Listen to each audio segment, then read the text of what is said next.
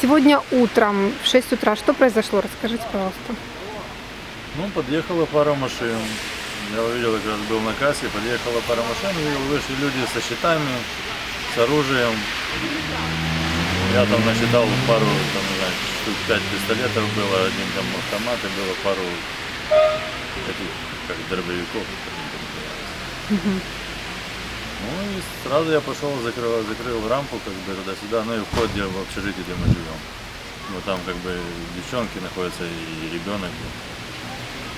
Как бы я там стоял для двери, ну, чтобы, чтобы они туда не напугали ребенка.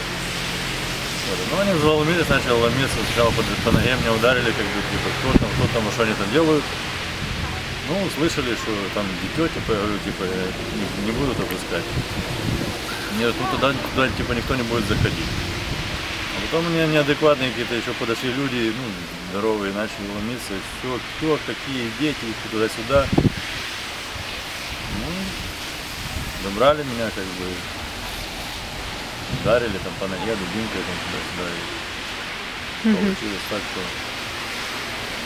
бы захотели. Но потом они реально увидели, что там действительно это самое, но там есть пару адекватных человек, они этих тормознули, как бы, сказали, что типа, вещи заберете потом, либо сегодня вечером, либо завтра утром, как они там всегда говорю, Ну так ну, видел, что вот несколько было человек вот с пистолетами, с автоматом. Один автомат увидел и пару обрезов было. Драка какая-то, вроде говорят, была возле Виртуса. Но они потом выскочили, когда стояли ребята, которые нас охраняли. Они как бы наши без оружия были, как бы просто как бы люди. Они выскочили с палками, с оборудованием видно, что там поломали, короче, видать, это оборудование железные предметы. И выскочили, типа, начали гнать их, типа, чтобы, мол, отсюда все ушли. Одному человеку, как бы, разбили там бровь. Он стоял, они ему там ударили в бровь, короче, разбили ему бровь. Ну, потом обратно за- зашли обратно в магазин. Информация о том, что возможно такое нападение, она была у руководства Виртуса? Потому что ну, вот магазин Ну, закрылся. Было, да, поэтому и закрылись, чтобы как бы не было лишних дверей, ну, чтобы не нарушать спокойствие, как бы, чтобы, не дай бог, были какие-то покупатели в магазине, там туда-сюда, и они вот это вот за- заломились, как, допустим, в Одессе случилось. То есть это еще где-то с середины этой недели, среда, четверг Да, уже конечно, уже вы готовились? Четыре где-то, да, или сколько там, не помню точно, суток уже, ну, магазин не работал, закрыты были, предупреждены все. Ну и ребята вот с этой охраны приехали, как бы ночевали и ждали. А какая у вас информация о том, э, кто эти люди, что, что за причина рейдерского захвата? А В чем она может быть? У вас есть какие-то вер- информации нет, версии? я не знаю, честно. Ну, вроде бы как, как говорят, что это хотят.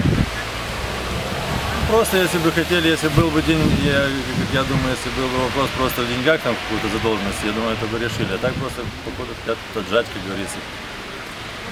Просто этот бизнес. А К правоохранителям южнинским, в Южнинский городдел полиции обратились сразу? Как вообще наши Они органы? подъехали, сразу были. Как-то так получилось, что я не знаю, кто им звонил. Но они подъехали сразу, и я так понял, или местные, или я не знаю, или это те, кто же там какие-то журналисты, или чтобы с камерами были, что-то снимали, брали.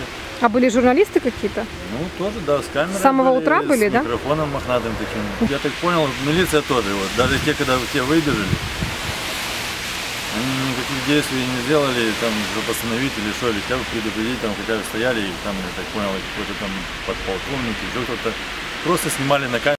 То есть никаких действий, чтобы защитить Никаких не вас, милиция? их, никого, ну, хотя бы могли бы остановить, разбронить, там, разбираться, как бы, как говорится, по закону. А получилось что так, что они просто как статисты вели, тоже как журналисты снимали просто, как это все происходило, как те с дубинками вышли, побили этого человека, там, сюда одного там через забор кинули.